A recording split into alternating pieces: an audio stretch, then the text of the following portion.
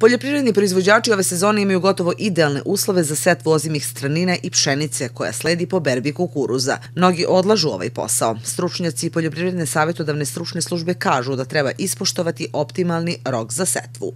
Idealni su uslovi u odnosu na zadnje dve godine gdje je bila suša, tri meseca nije bilo suše prošle godine u ovom vreme. Bila je teška obrada i teška priprema, skoro nemoguća, ali su ipak ljudi nekako uspeli da poseju straninu. A ove godine, to je sada, e, vladaju optimalni uslovi i povoljni za jednu setvu koja će biti u roku i u optimalnom roku.